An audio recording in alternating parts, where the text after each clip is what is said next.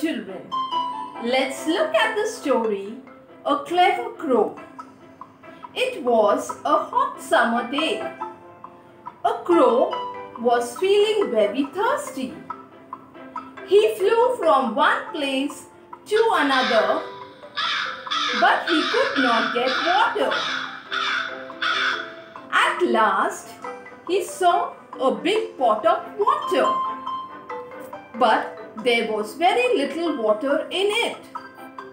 The crow could not reach its beak to drink the water.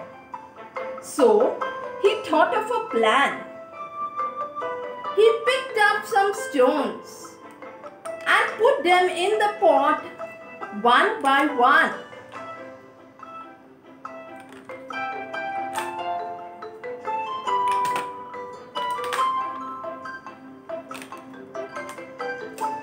You see children, the level of water kept rising as the crow put the stones one by one into the pot.